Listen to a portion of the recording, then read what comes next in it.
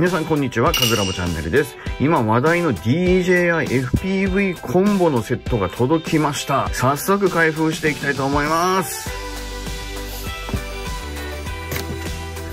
じゃーん。おー、来ました、これね。うわー、この憧れのゴーグル。かっこいい。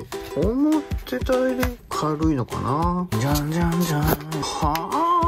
まあまあ重さありますね。なんか SF 系の映画に出てきそうなフォルムしてます。はいセット内容はこのような感じです。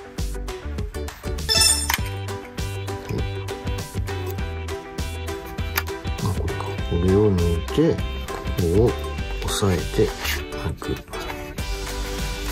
ペンをつけてみます。赤は赤なのかな。押し込んで回す黒は黒はい、できました。OK です。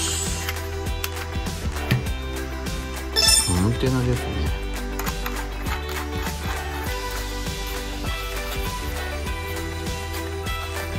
できました。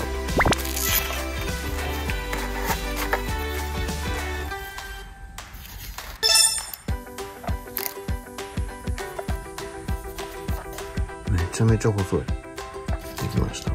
まあ持ちやすいです。このバネの調整ができるようです。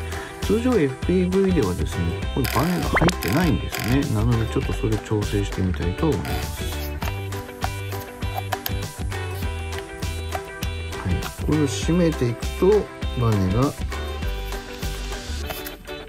あほら効かなくなってきました横だけはついてますけどこの縦がね。でこれだとちょっとこうゆるゆるなので F1 で硬さを調整する。あですね。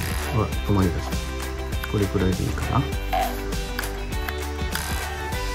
どんなスペックか見てみましょう。カメラは2.3分の1インチ CMOS センサーで12目があります。画角は 35mm 換算の 14.66mm で絞りは2.8の固定。そして ISO が100から12800、シャッタースピードは50分の1から8000分の1秒。えー、最大静止画サイズが 3840×2160 ということで 4K のフレームサイズと一緒になってますね。で、ロー撮影はできないようです。で動画の解像度は 4K の場合 MAX60 フレームでフル HD の場合はスローモーション撮影もできるようで120フレームまで撮影可能です。動画のフォーマットは MP4 と MOV ファイルですね。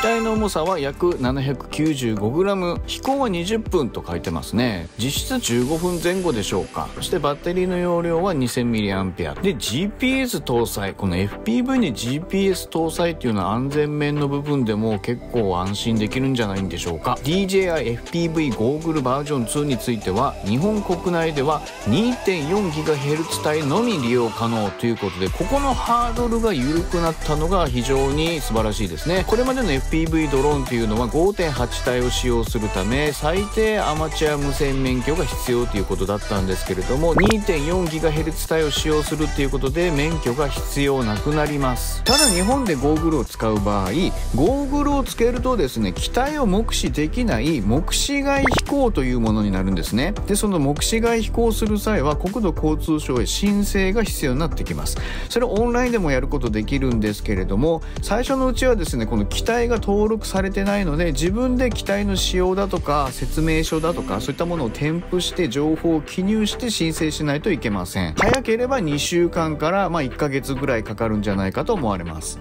そうなれば初日から飛ばせないやんってなるんですがゴーグルから付属の有線ケーブルでスマホに映像を転送することができるようです。そうなればこれまでの DJI の機体と同じような飛行目視しながらの飛行が可能になります。ということは初日に FPV ゴーグルをつけての飛行はできないということになります。必ず申請を通すようにしましょう。それ以外でも 200g 以上の機体になりますからこういった条件では飛ばさないように気をつけましょう。目視外飛行のみならずその他の飛行についての許可承認を一緒に取るのもありかもしれません。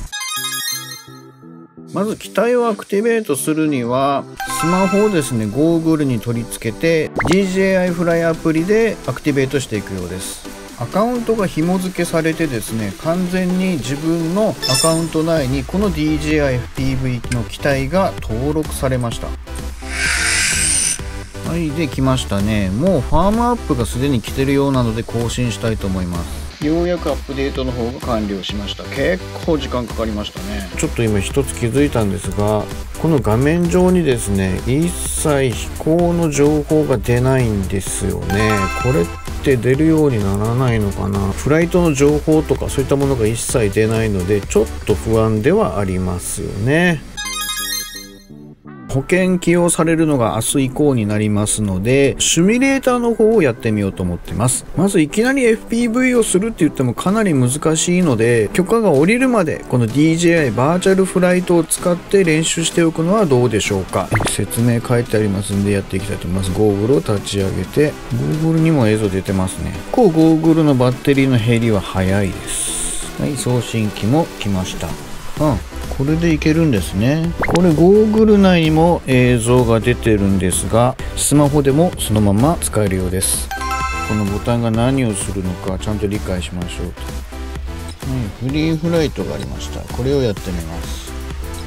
フリーフライト、はい、起動をさせてですると。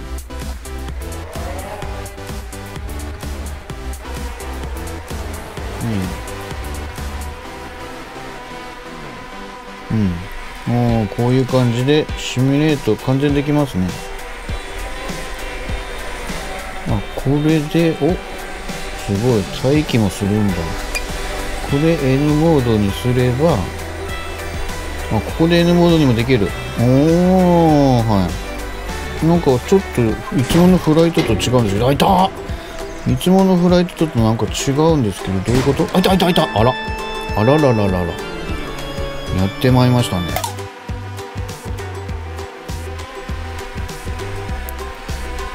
まあ FPV らしくこういうとこ通ってみるとかいろいろできるわけね。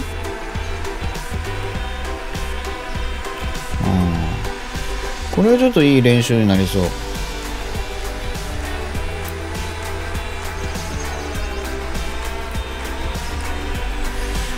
まあやっぱりこれはちょっと一度やってみてこれの中でたくさん飛ばしてみて、まあ、練習しておくと良いかもしれませんね。はい。まあできなくはないというかこういう FPV らしいところもねいけますね。